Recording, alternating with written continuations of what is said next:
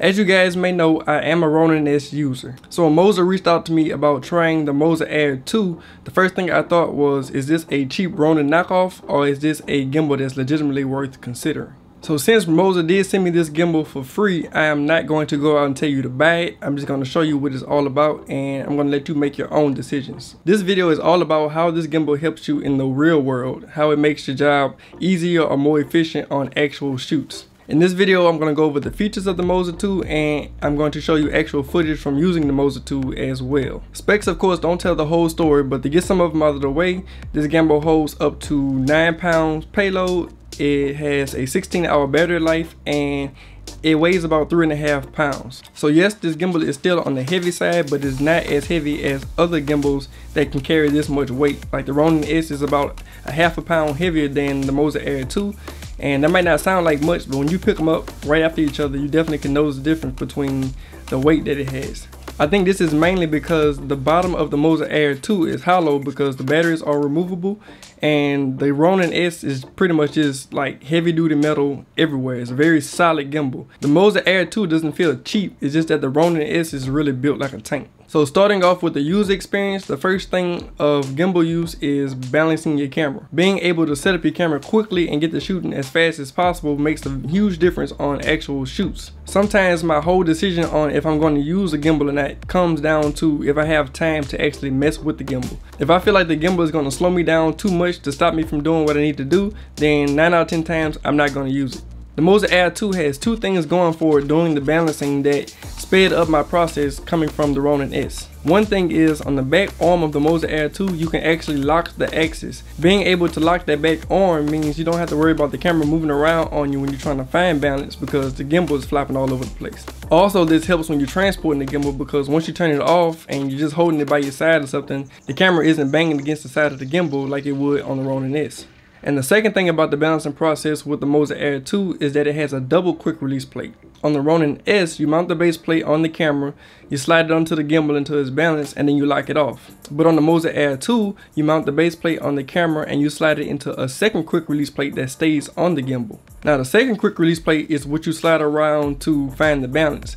But once you have the balance set on the second quick release plate, you can take the first one off with the camera and slide it on and back off again without having to worry about any loss of balance. So once you have the balance set with the second quick release plate, you can take the first one on and off all day long and your balance won't be affected at all. So I can pop the camera off, do what I have to do and pop the camera back on and don't even have to worry about where did I slide the camera or where did I have it set last time. It just pops right back on and I can go on about my business. I think those two features are something that should be on every gimbal from this point forward because once you have the ability to do those things, it's hard to go back to something that doesn't have it without being annoyed. Once the camera is mounted on the gimbal, the balancing process is pretty much the same with all gimbals. All the cables that are needed to connect any supported camera is included with the Moza Air 2, so you don't have to worry about going out and have to buy another cable to connect your camera to the gimbal. So if your camera is supported, there's the cable in the box for your camera. Now, depending on the camera that you have, you can control things like all of your settings with the shutter speed, the aperture ISO. You can charge the camera through USB.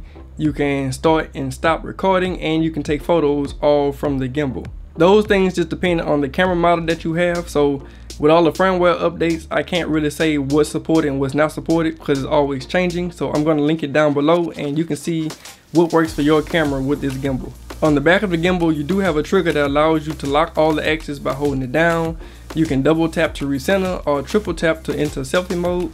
Or for some cameras that are supported, you can single tap and focus with the camera. There's also a mounting hole on the back of the gimbal that allows you to attach any accessories that you might need. I use it to attach my external monitor, so whatever you need to screw on to the back of the gimbal, there's a hole for it.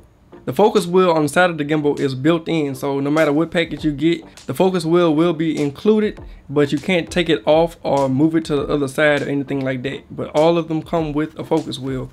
And if your camera doesn't have the ability to focus, or if you're not using an external follow focus, then you can set the wheel to do things like control the roll axis. One of the biggest things that stood out to me about using this gimbal is how precisely you can change and control the different modes on the gimbal. On the Ronin S, I can use the app to set up three preset modes to switch between on the gimbal, but with the Moza Air 2, I don't need to use the app at all and I can go through and adjust the different modes from the screen on the front of the gimbal So it allows me to switch between things very easily and the amount of control that it gives me for the different modes is just way more than I can ever do with the Ronin.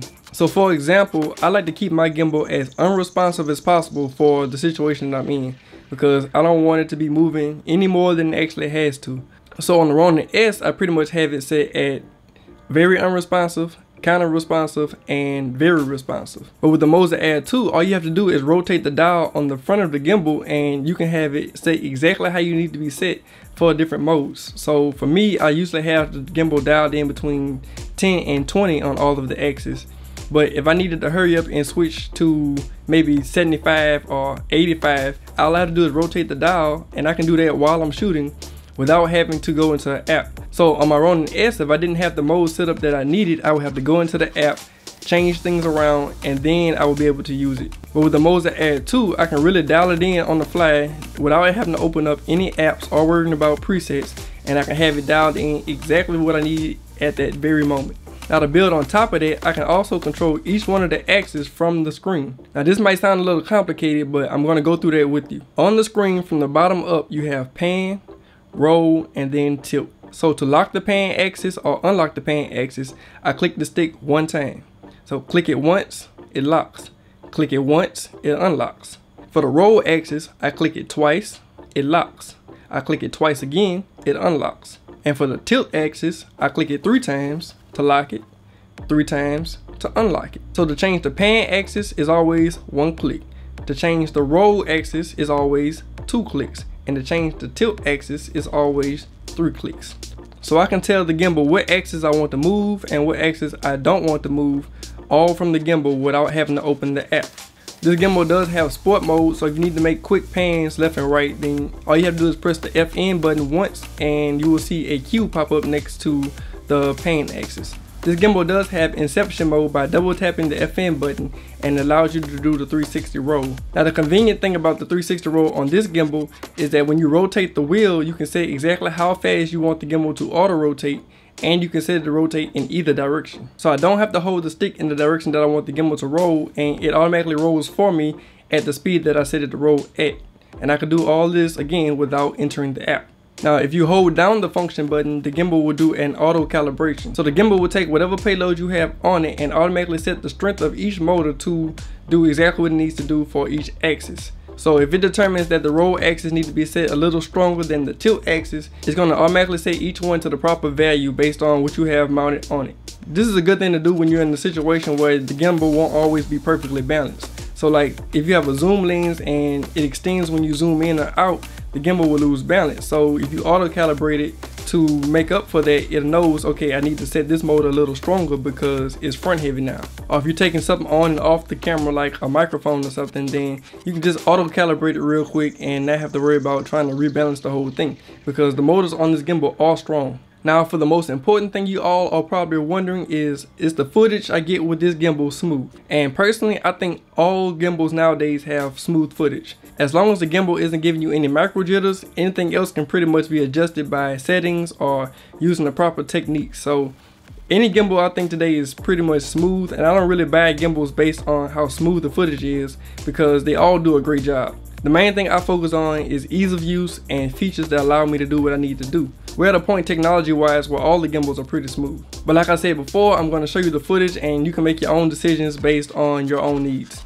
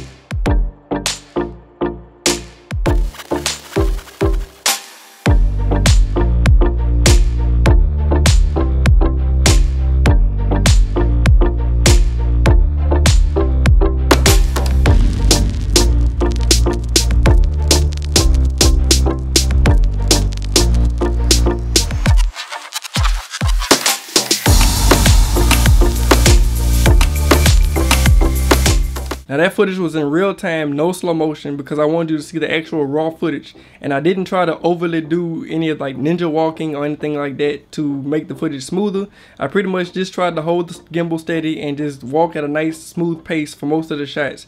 And I show you in the bottom corner of the screen how I got the shots. So you can make your own decisions based on how the footage looked to you.